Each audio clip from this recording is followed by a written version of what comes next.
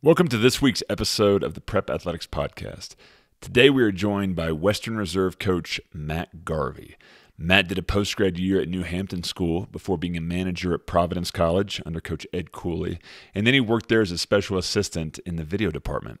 Now, from there, he went to Western Reserve Academy under coach Pete, Pete Hutchins, uh, and there are trying to build a powerhouse outside of Cleveland, Ohio. So, in this podcast, we talk about his experience at the D1 level what it's like to coach at the prep school level, um, and some you know differences of Western Reserve being in Ohio versus New England, and the pros and cons of that. So great conversation with Matt. Thanks for tuning in. Enjoy the podcast.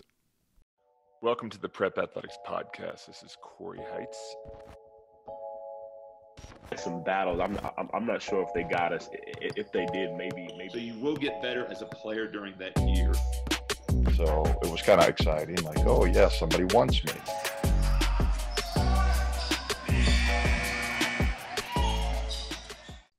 Matt, welcome to the podcast. Cory, thanks for having me. No, it's a pleasure to have you on here finally. And um, you went to New Hampton School for high school, and walk me through your process of what what got you thinking about prep schools, and why did you end up picking New Hampton? Yeah, great question. I, uh, you know, I grew up about two hours um, south of New Hampton, um, just outside of Boston, um, where obviously there's, you know, what feels like a prep school every uh, every other town in New England. And uh, I went to a small Catholic high school just outside of Boston. Um, after four years there, my family and I sat down. Um, just didn't think I was, you know, completely ready to make the jump to college. Um, bunch of different reasons, you know, just personally, socially, uh, in terms of academics. So um, we looked up in New England. Um, we looked at New Hampton, Brewster, Tilton, Kimball Union, Bridgton, um, and just settled on narrowing it down. I knew a couple people that had already gone to New Hampton um, that I was close with. It came highly recommended, and uh, that's what we had settled on. Gotcha. And how was your experience there? It was unbelievable. I uh, I tell people all the time I, I would not be where I am today without the one year I spent at New Hampton. Gotcha. And then after New Hampton, what did you do? I went on and uh, I was at Providence College. Uh, I studied economics there, and I was a four-year manager there um, under Ed Cooley. Okay, what are the pros and cons of being a manager at a Big East team under Ed Cooley?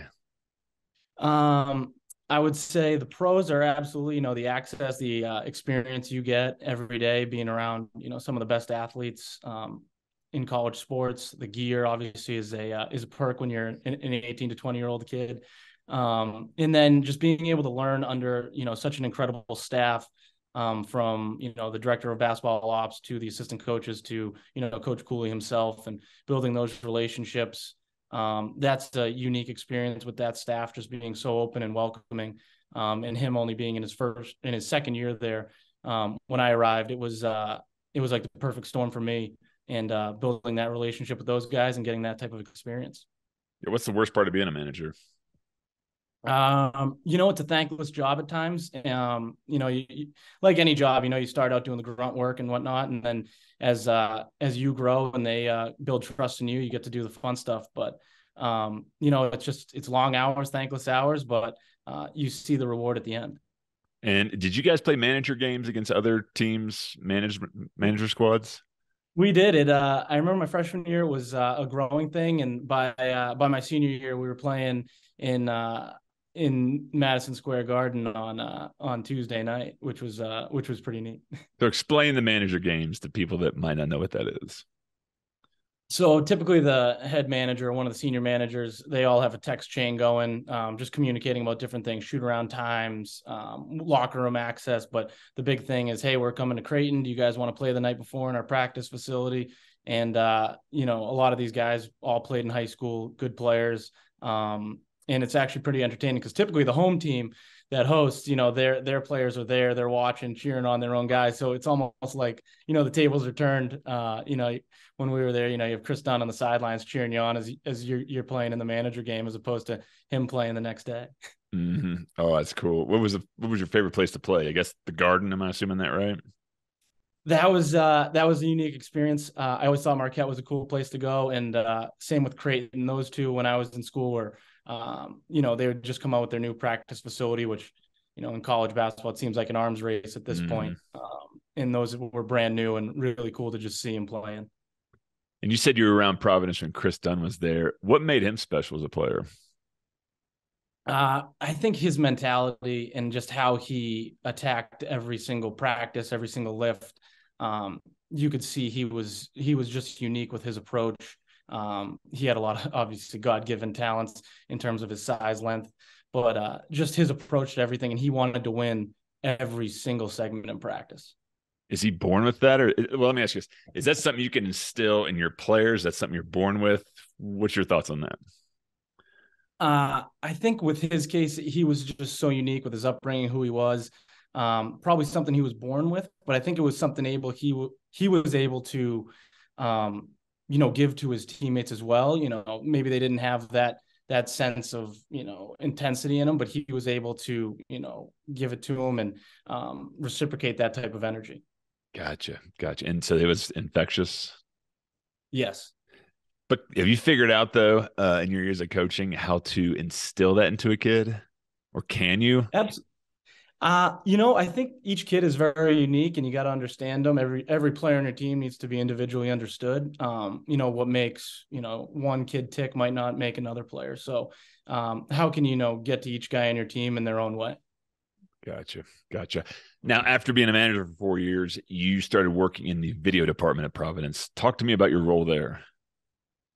Yeah, so uh, it was kind of the perfect storm for me. Um, Ed had asked me if I wanted to come on in a full time capacity as special assistant and video coordinator, um, and of course I accepted that position on on the spot.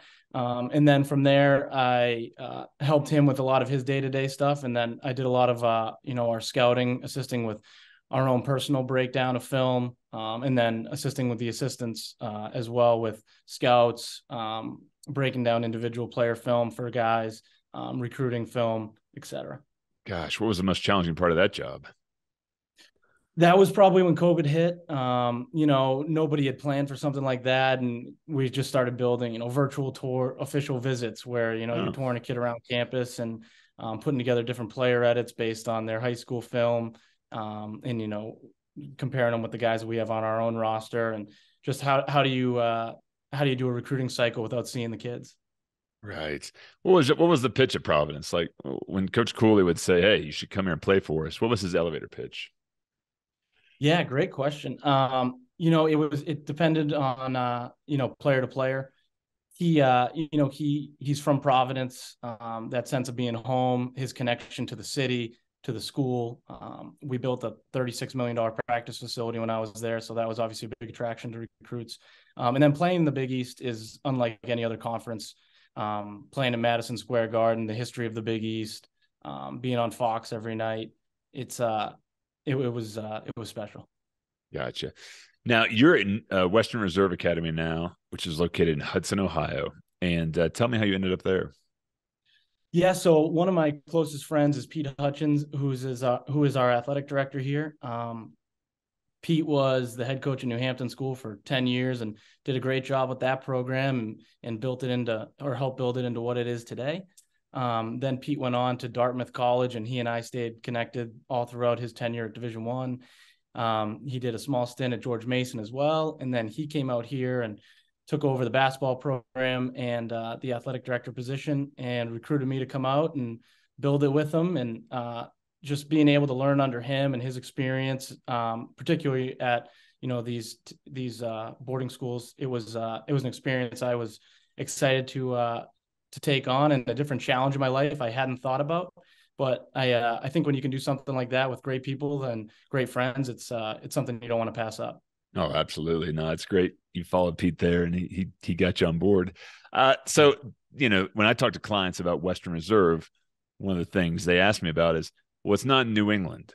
So are college coaches going to be there? Are they going to play a, a, a, New England type schedule? And I'm sure you hear this on a daily basis. So how do you answer those two questions? Yeah. So I think, uh, you know, the easiest thing is just the evidence. I mean, we've had almost 100 college coaches on campus from Division One, Two, and Three just this past year. Um, it's we're 30 minutes from Cleveland. It's actually easier to get to than some of the schools in New England. Um, and then you're also you know attracting a, a different school um, where you know we get a lot of visits from big 10 schools big 12 schools um, regional schools in that sense.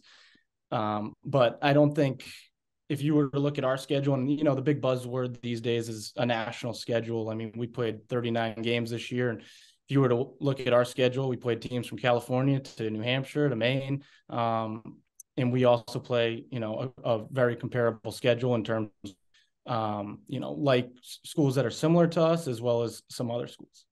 Gotcha. Like who who are some of the schools you played this year? Just for people that want to know. Yeah, so we played, you know, New Hampton School. We played the Hill School, Phelps School, Blair Academy, the Hun School, um, SoCal Academy, Perkiomen. Um, so you know, schools all across the country, similar to us, different from us.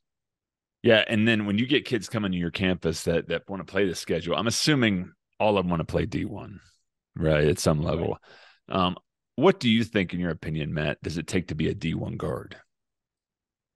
Yeah, you know, I think playing college basketball, whether it's one, two, or three, it's it's a full time job, and that's something you know we try to convey to kids um, that regardless of level, you're making a commitment, and it's going to be taxing on you, um, you know, academically, in terms of athletically, socially. Um, but what it takes to be a Division One guard is, you know, you have to have a relentless commitment to work. Um, you have to be committed to the game in the sense of, you know, film. How are you going getting better as a guard? Who are you watching? Are you competing at the highest level possible during the summers, during the springs? Um, or do you want to go against another you know division one level guard in practice every day which is what we want in our gym. Mm-hmm. we want you know guys that want to play college basketball. We want division one caliber players in the gym going against one another getting one another better challenging one another. Gotcha. Love it. And then what has been your success on getting your your players at the next level um, I think you know we've been successful because we've uh, we're recruiting a certain type of kid, kids that want to be all in, kids that have a blue collar mentality.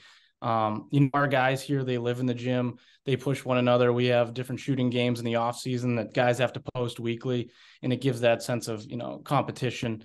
Um, and then they take that with them um, to college. We we try to play run it as much like a college program as we as we can in terms of nutrition, lifting, skill development, how we run practice, offense we run, how we play defense.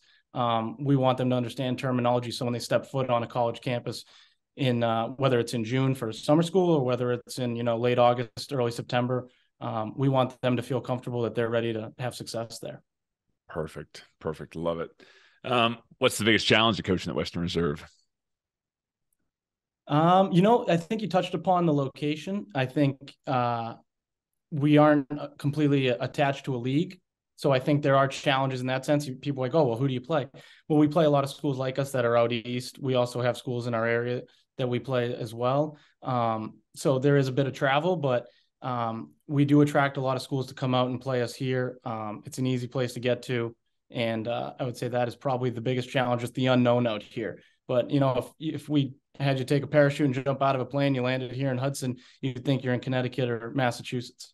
Yeah, for those who've not been there, Hudson's a very cute little town. I'm sure the moms, the parents would love it because um, it is cozy. It's right out the front gate of the school, and Western Reserve is like a New England prep school dropped in Northeast Ohio. So I, I tell that to all these people, and you know, I think some of your buildings there in the National uh, Register of Historic Places too. So it's uh it's a fine campus you got there, a fine town.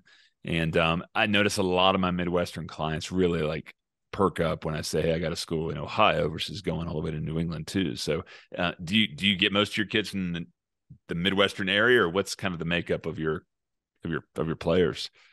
You know, we we don't have uh, we're not primarily Midwest. Um, we have kids from all over, from you know Finland, Serbia, New York, Maryland, Australia. Texas, Canada, uh, Ohio, Indiana. So I think uh, you know we cast a wide net when we're we're trying to build our roster, and uh, we do have a lot of Midwest ties, but we have kids from kind of all over the country, all over the world as well. Gotcha. I love that because then it's a multicultural team you've got, and then uh, you know everyone learns something else from from other everyone else's experience. So to me, that is uh, that's better than just having a class of kids from one area, which you can find sometimes in New England, you know, with Connecticut kids, right? Absolutely. Uh, what's your ultimate goal while you're at Western Reserve? Like, Yeah, what would you, what was it? think, What's the uh, ideal if you could get it to you know the dream state?